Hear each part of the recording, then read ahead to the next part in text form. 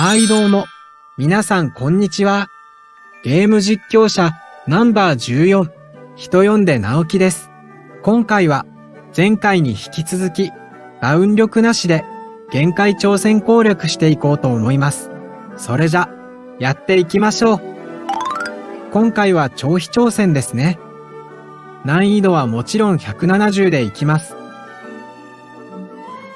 稽古補正はこんな感じで攻撃に振ってます。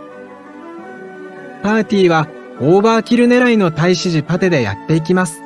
先に言っておきますが、今回めっちゃ致死率高いです。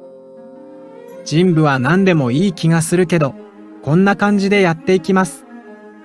霊獣もいつも通り、鳥と牛と鹿ですね。才能は、死にやすい大糸当該には血を、メインの大使寺には吸収、大凶は強すぎるので、投資をつけてます。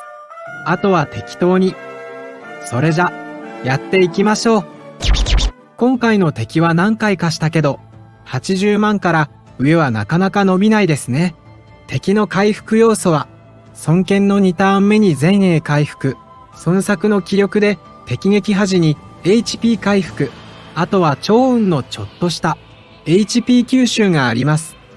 孫権の HP 回復がかなりでかいので、今回もダウン力有利かな、と思ってます。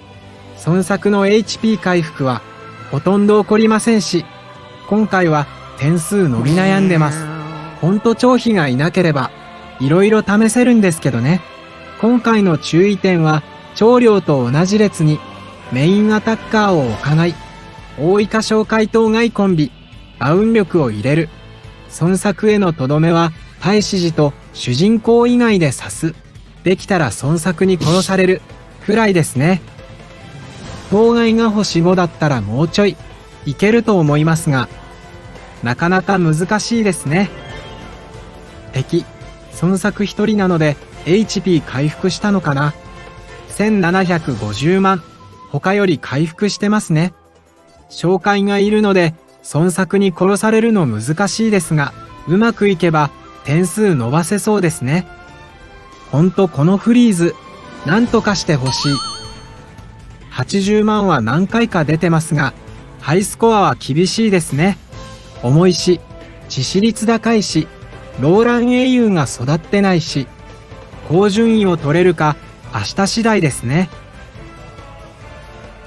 お、久しぶりに81万超えました。今回はうまくオーバーキル取れた感じですね。孫作の回復あればもうちょいいけたんですが、残念。